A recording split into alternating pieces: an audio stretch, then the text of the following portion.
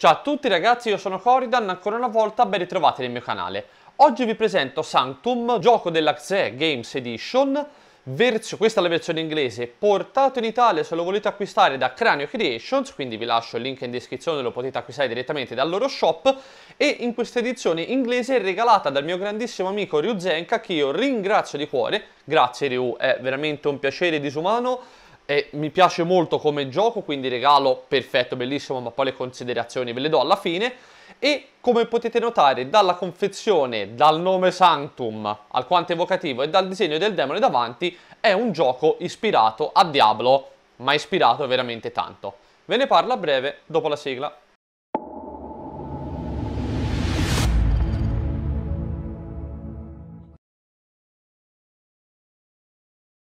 Sanctum in edizione italiana, non quella che vedete qui davanti, ma comunque edizione italiana a cura di Cranio Creations, è un gioco cooperativo da 2 a 4 giocatori, quindi le regole per giocarlo in solitaria non ci sono, della durata su scatola riporta dai 60 ai 100 minuti, sì, bene o male, forse massimo 2 ore può durare una partita. Ed è un gioco completamente in cooperativo dove voi dovrete guidare degli avventurieri, c'è il classico mago, il guerriero, ad esempio uno per, che ha gli attacchi dalla distanza, classica un po' con formazione del party, tank, DPS, healer, come abbiamo visto in Diablo, mettiamola così, o negli hack slash più famosi nei Mo,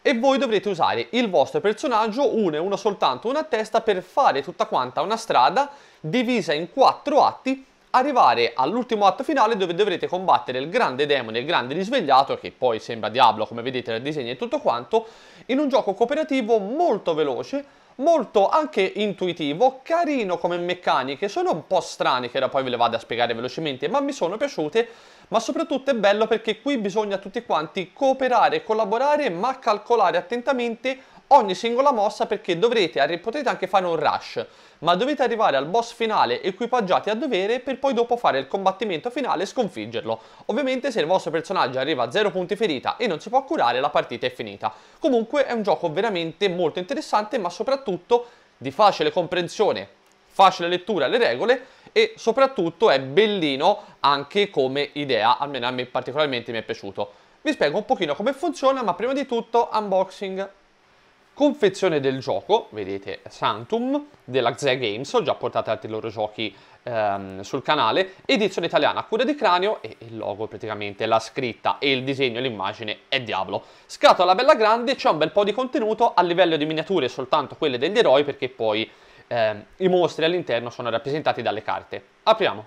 Regolamento di gioco, tra l'altro con un QR code che se scannerizzato vi rimanda un tutorial loro su YouTube e il regolamento, vedete i classici eroi, il ranger, il ladro, il mago e il barbaro, è di classica lettura e facilissima, poi è pieno zeppo di esempi, raffigurato molto bene e quindi è veramente molto semplice. Abbiamo tutte quante le carte di equipaggiamenti, carte dei mostri, carte di abilità perché ciascun personaggio ha il suo set di abilità completamente differenti, i dadi, ce n'è un bel po', sono dadi da 6 perché è l'unico dado che si usa nel gioco, i contatori delle abilità che sono punti stamina, punti mana, punti ferita, ma soprattutto sono cubettini colorati che vengono messi sopra l'abilità e poi li potete usare e spostare in un pool comune così da riutilizzarli più avanti per altre cose e per sbloccare l'abilità. Altri vari segnalini, poi abbiamo i personaggi che sono questi qua, che sono, vedete, il guerriero, l'arciera, sono fatti bene, sono anche abbastanza grandi, anche perché sono le uniche miniature presenti nel gioco.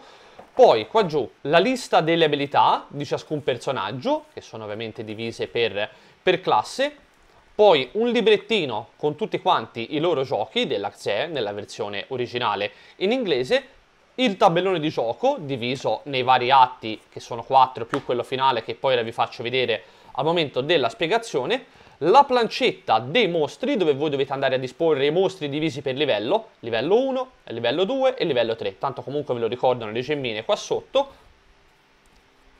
La plancia degli achievement, un po' come se giocaste su un gioco di Steam, è bellina come idea. Quando riuscite a fare l'achievement prendete il premio che praticamente c'è scritto accanto. Anche questa cosa è molto carina. E poi qua giù abbiamo tutti quanti i token da staccare comprensivi anche e soprattutto delle schede, delle planche dei personaggi che tra l'altro è una figata assurda perché sulla testa ci mettete l'ermo, poi qui l'andate a coprire, qui l'armatura, qui il pezzo delle gambe, qui le due armi, ricorda veramente tanto Diablo. vi faccio vedere un po' come funziona. Lo svolgimento del gioco è semplice, ve l'ho detto, ricorda Diablo comunque, a parte per il logo e tutto quanto, qualsiasi hack and slash, avete una mappa che è divisa in quattro atti e ogni volta dovete, quando superate la mappa e andate all'atto dopo, ci andate ad attaccare direttamente il secondo atto. Se giocate in due giocatori dovete saltare direttamente l'atto 2 e l'atto 4, cioè praticamente ne usate soltanto due dei quattro che ci sono perché ovviamente il gioco viene un po' ribilanciato, è più difficile giocare con meno giocatori anche perché il volume dei mostri è sempre lo stesso, non cambia,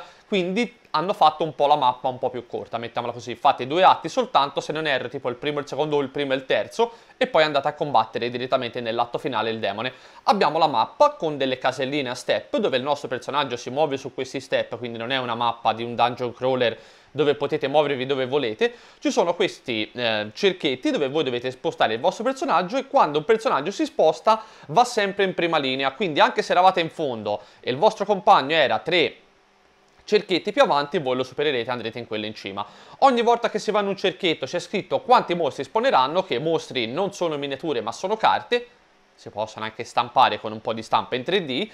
e andremo a mettere le carte sulla mappa. Di ciascuna coppia di mostri noi dovremo sempre andare a prendere appunto una coppia, toglierla dal tavolo e metterla sulla nostra plancia del personaggio, così che quelli saranno i mostri che ci seguiranno. Un po' da mimare, ad esempio, un open world alla Diablo dove puoi andare dove ti pare mano a mano che inizia ad aggrare in gergo mo un po' di mob, un po' di mostri, te li porti dietro e ti attaccano. Qui uguale, i mostri che ci sono non li dovete combattere tutti, dovete scegliere voi quali portarvi sulla plancia e ovviamente ci sono tre livelli di mostri come tre livelli di abilità e tre livelli anche di oggetti, più è forte il mostro più punti esperienza vi dà, no. però potete anche andare a picchiare semplicemente quelli più deboli. Però il gioco è tutta una corsa